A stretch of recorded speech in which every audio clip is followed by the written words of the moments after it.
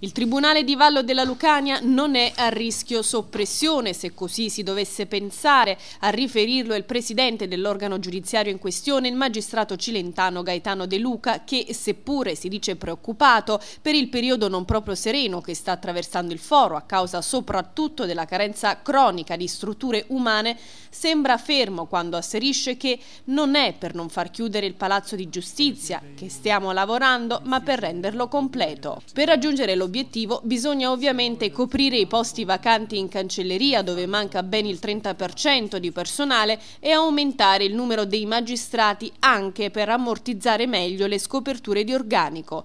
Ma come fare?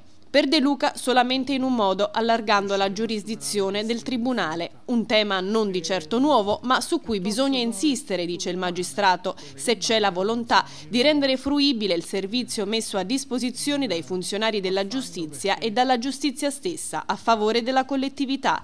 De Luca perciò ha avanzato la richiesta di estendere la circoscrizione giudiziaria di Vallo presso l'ex pretura di Sapri, oppure al nord, a Capaccio o a Roccadaspide. In questo modo si risolverebbero molti problemi e il Tribunale di Salerno non verrebbe più intaccato. Ma l'aumento della giurisdizione del Palazzo di Giustizia di Vallo della Lucania non è affatto cosa semplice. Innanzitutto l'argomento è prettamente politico. Io, conclude De Luca, ho fatto la proposta. Spero che le amministrazioni locali si muovano in tal senso per farla diventare realtà. Adesso è solamente un'idea, il percorso è lungo, ci vorrebbe una proposta di legge, prima ancora l'impegno delle comunità, ma se mai si dà avvio a un progetto, mai si raggiunge un traguardo.